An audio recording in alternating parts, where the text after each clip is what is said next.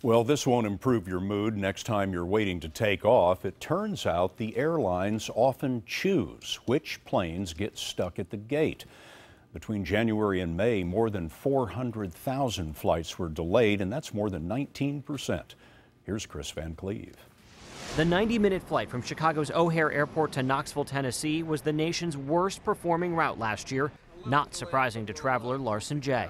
We take this flight a lot. We're always delayed and we're always behind, but um, you just it's a crapshoot. The flight is a recipe for headaches. The route flies from an airline hub prone to delays. Last year, 15 of the 20 least on time routes came to or from O'Hare.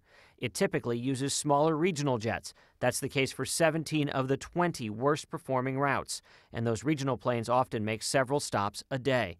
Josh Marks of masFlight says there's a reason for all the delays on short haul regional routes. That's simply because those regional aircraft are smaller planes. There are fewer numbers of people that the airlines have to reaccommodate. Inside United Airlines Network Operations Center in Chicago, everyone from maintenance to meteorology is working to keep 5,000 daily flights operating as on time as possible. Our key hubs are, are looking great. Jim DeYoung says the airline tries to anticipate travel problems, but acknowledges some planes get an advantage. Do certain types of flights get a preference if push comes to shove? Just by the, the, the length of the flight and, and, the nature of the flight, you're going to see that the international flights will get priority. But ultimately, we're looking at customer connections, we're looking at the crew connections, we're looking at the aircraft flows and, and balancing all of those types of things.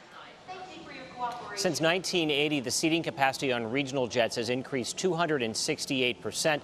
That, as the industry as a whole has been reducing capacity of late.